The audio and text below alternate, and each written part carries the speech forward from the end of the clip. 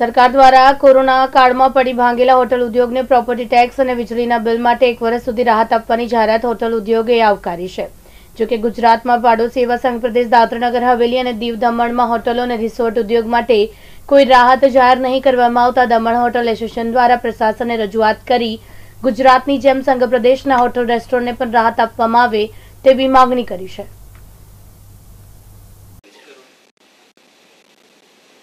તમારું નામ અને ડેઝિગ્નેશન મારે કેવું પડશે ઓકે. હું હરેશભાઈ ટંગાલ હોટલ ગુરુકૃપા ચલાવું છું અને હોટલ એસોસિએશનમાં વાઇસ પ્રેસિડેન્ટ છું. હરેશભાઈ ખાસ કરીને વાત કરીએ આપણે એના હોટલ એસોસિએશનની અને હોટલ બિઝનેસની. ગુજરાત સરકારે ખાસ ત્યાંની જે હોટલ પાર્ક અને જે રેસ્ટોરન્ટ કે જે છે તેમના માટે એક ખાસ જાહેરાત કરી છે કે તે લોકોને એક વર્ષ માટેનો પ્રોપર્ટી ટેક્સ માફ કર્યો છે. વીજ બિલમાં રાહત આપી છે.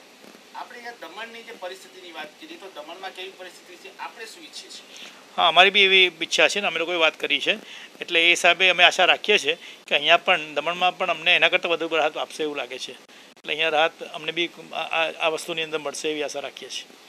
જે કોરોના પીરિયડ હતો આ કોરોના પીરિયડ હજુ પણ આમ તો ચાલે છે પણ હવે ધીરે ધીરે ધીરે એમાં ઓછા પણ થઈ રહ્યા છે કેસીસ.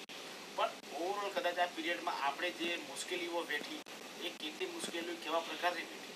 હા, અમારે હોટલ બિઝનેસને સૌથી વધારે હિટ મળ્યો છે. કારણ કે, એક તો રૂમ્સ બધાની ખાલી થઈ ગઈ. અને આટલો લાંબો પીરિયડ માટે હોટલ્સ છે, એ લોકોની ઓક્યુપન્સી પાંચ ટકા દસ ટકા પર આવી ગઈ. અને જ્યારથી હમણાં હમણાં હમણાં ફરતી આરટીપીસીઆર લઈને અમને ચાલુ રાખ્યું છે એ થોડી થોડી ઇમ્પ્રૂવ થવા લાગી છે હવે.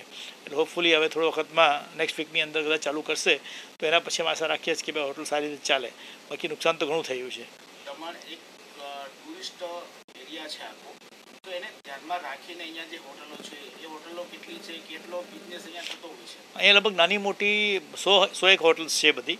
અને ઘણા બધા એના ઉપર રોજગારી બધાની નિભે છે. તમને અમારે લોકલ લોકો જ વધારે છે. લગભગ નેવું પંચાવન ટકાની હોટલ્સ લોકલ લોકોની જ છે બધાની. એટલે એ લોકલ લોકો જ હોટલ ચલાવે છે અને એ લોકોનું ગુજરાન ચાલતું હતું એના ઉપર. તો હમણાં એના આના હિસાબે બધા ઘણા, ઘણાને કઠિનાઈ આવી ગઈ છે. અને કદાચ અમુક હોટલ નાની નાની મોટી તો બંધ બી થશે કદાચ.